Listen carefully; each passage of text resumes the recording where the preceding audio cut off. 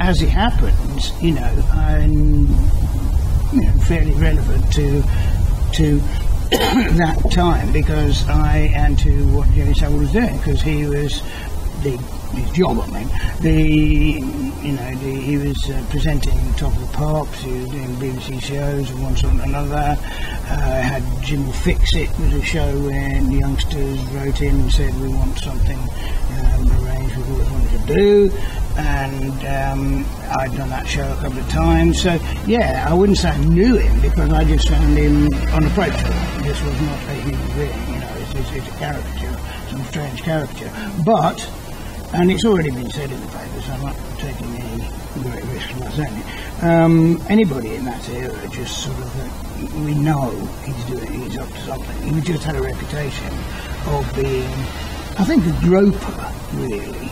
I don't think, I'd certainly never heard any anything about that. I mean, the most awful aspect, which is the idea of molesting kids in hospital. I mean, that is just unbelievable, you know, and sort of bribing his way out of it by giving million pounds to the hospital. I mean, that, that is staggering.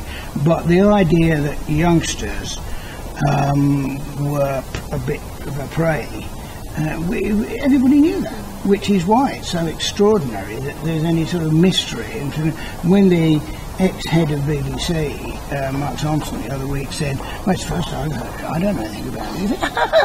head of BBC and you don't know that? Don't be ridiculous, you know. Just, it, it, that's absolute nonsense. So, no, I wasn't surprised at all. Mm-hmm. And obviously the surprise is, in a sense, that, that that didn't happen years ago. What is it about the who and the establishment or whatever it is, I don't know, that decided to keep it all quiet and give him an OBE. I mean, he's a friend of, uh, not an OBE, a knighthood. Um, you know, he was, to a certain amount, a friend of royalty as well. You know. It's, no, it's, uh, no, won't be the last.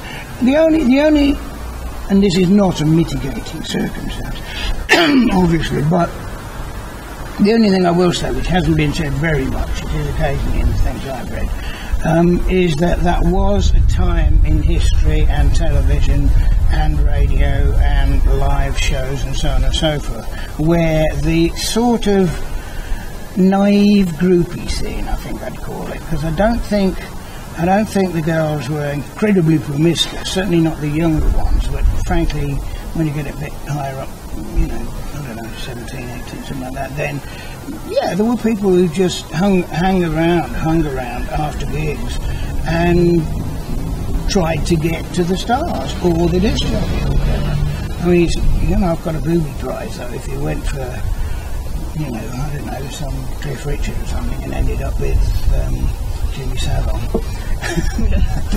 why do you think it took so long to come to light? I have no idea. I, I don't know why it took so long. That's what I'm curious about. Is you know, whether there is somewhere in, in Britain some sort of censorship committee that we don't know about who suppresses these things. And somebody gets together in a room and, and says, you know, well, they don't necessarily all know about Jimmy, but come on, he was a friend of Prince Charles. I mean, it looked awfully bad on Prince Charles reached out and said he was a bit of a perv, wouldn't it? And somebody decides, yes, you're quite right, we'll keep it quiet, you know, nobody will ever find out.